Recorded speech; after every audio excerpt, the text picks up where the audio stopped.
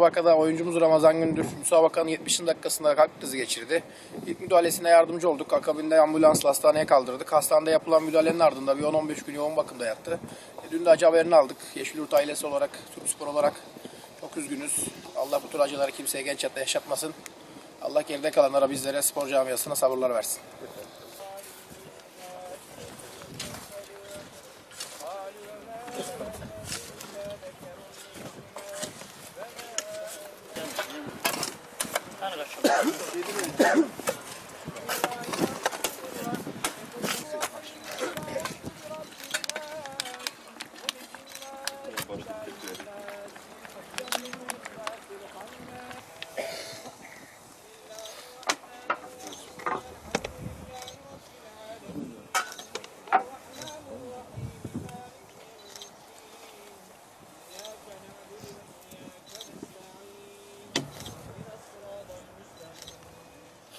hastaneye yatırdık.